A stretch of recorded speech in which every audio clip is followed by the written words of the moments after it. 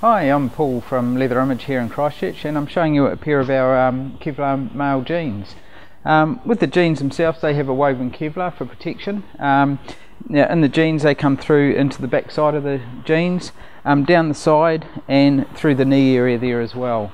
Um, you basically find they have about a 45 to 50% coverage inside with a woven Kevlar. The other beauty of these pants is that they do come with removable armour as well. So in these jeans you'll find you've got pockets in the side and also in the knee. So th this is the armour, it's a rubber foam armour and that's your hip protector that just sits in there or you and you've got your knee one which will just sit into your knee area through there. Beauty of that is if it's just around town you might just want to be wearing your jeans. You've still got that protection of the Kevlar but if you take it out in the open road um, you do you can put the armour in. So it just gives you that e wee bit extra protection um, to the jeans as well.